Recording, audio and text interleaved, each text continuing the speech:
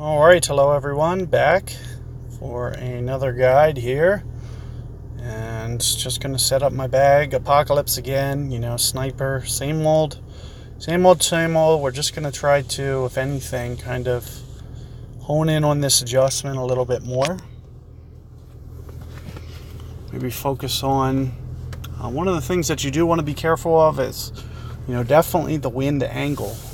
Uh, you don't want to run out. Oh, speaking of which, um, you know, I'm, I'm a little worried that if you don't put on Amazon, you might not give yourself the opportunity to. Uh, if if you do make a mistake here, you might not get to the green. So I do recommend Amazon for this hole, just as that safety net. That'll be nice to have.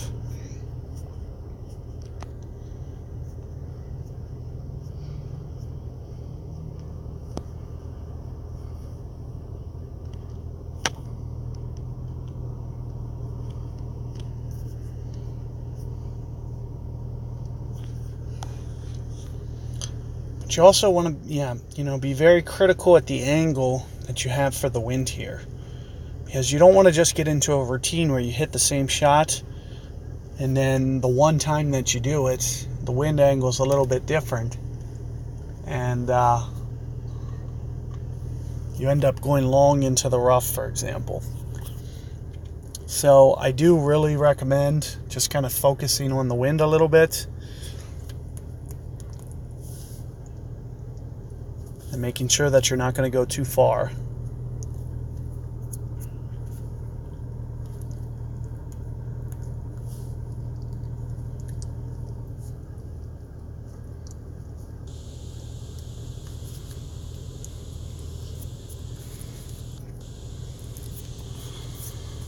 So let's see what we got here. Been kind of, you know, backing off the side spin that I need here. And same with the top spin. You can see I'm, I'm not even quite going five there. I'm assuming that's probably enough. I feel pretty good about that. I am a little questionable. Is, is this that enough? So you can see, you know, I'll probably go about nine, eight, eight-ish rings here, right around there. Um, you know, I'm going to do just a little bit of extra curl Nothing very much, but I do want to ensure, hopefully, you know, oop, oop, oop, I'm going to hit the rough.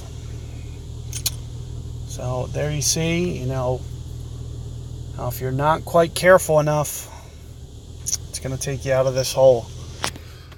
So that's going to probably eliminate the possibility for hole out.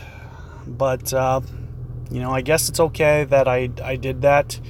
One of the things that I can, you know, emphasize if you want to make sure that uh, you know what just happened to me doesn't happen to you you can try to aim your landing zone a little bit more right. Um, i had a feeling that the ball was downwind a little bit more and that it was actually going to push and there was no way that that was going to happen but apparently um, it did. So one of the things that you can do is you can set up your adjustment more to the right here and you can see there's much more fairway to the right so doing it this way um, for your landing zone, you will, uh, and you can see kind of where my opponent's landing right off of that fairway. You won't have uh, a rough bounce if you do that.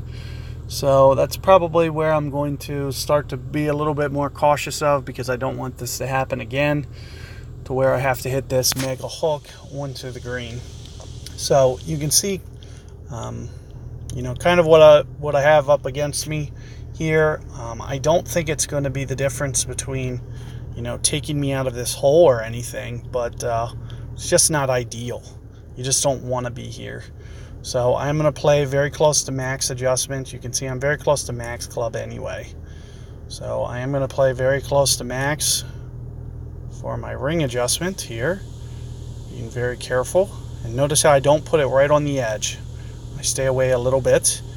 And also keep in mind that I'm going to a lower elevation. So there I'm probably going 11 rings. Um, I'm going to need quite a bit of curl. So you can see I'm virtually going max there. And I'm just trying to basically bump it through that rough on the second hop it's basically max curl and it's still to the right. Um, it was, it's max what I can do with my phone. You could pull out max curl, um, go landscape, but I really don't recommend it. You don't want to have loss of precision to where that second hop doesn't hit the rough. So you do want to be a little bit cautious with the way that you do that curl and uh, you know keep yourself from making a mental error um, but you can kind of see uh, what I did there to kind of recover. Now, what I do want to um, recommend for you guys so, notice how my opponent he's going to be putting the ball way down there in the sand. So, notice how much of a lower elevation the sand is. So, the lower that you go makes the wind play, um, you know, it lowers your trajectory and makes the wind not play as much. So you have to be careful when you do this.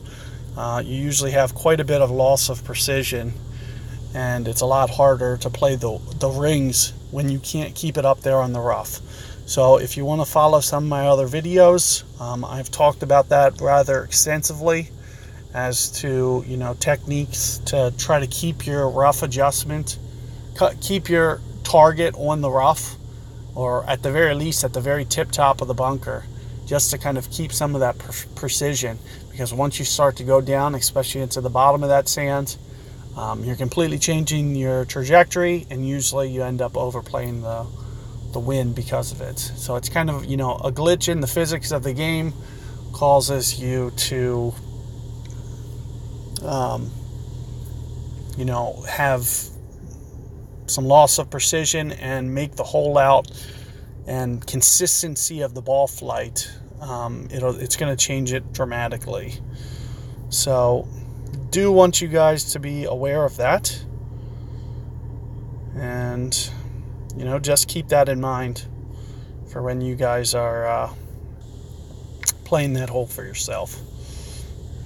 I should have paid a little bit more attention here, but, uh, ooh all things considered, I feel relatively comf- comfortable that I can that I can hit that rough shot anyway. So not too terribly worried about it. I've basically uh, I, I basically assume that I've already gone say we'll call four rings for example and I just need to go an additional four so maybe eight rings for my adjustment with some curl.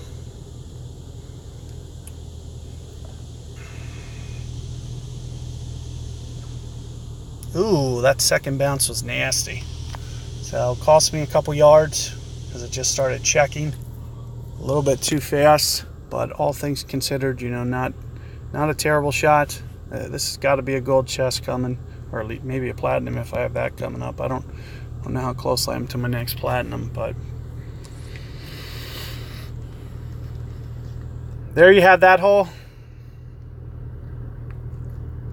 Um, as you can see, um, you know, I expect you guys to be able to at least, you know, watching my guide, keep up with the you know, the minimum and, you know, avoid mistakes.